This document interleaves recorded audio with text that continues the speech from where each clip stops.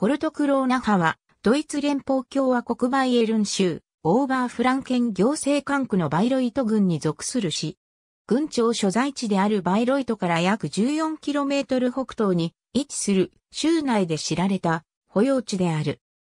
本市は公式には29の地区からなる。このうち小集落や孤立農場などを除く集落を以下に列記する。左上対角線上にに分割され、右上が黒、左下が銀。右上及び左下対角線上にに分割され、左上が赤、右下が銀で、赤の部分に金色の王冠。右下対角線上にに分割され、右上が銀、左下が黒。オーラミュンデ博の所領であったゴルトデックの町と、城は1338年から1341年の間に、ホーエンツォレルン家のニュルンベルク城博、後のブランデンブルクバイロイト辺境博のもとに移された。白博フリードリヒ5世は1365年にこの町に都市圏を授けている。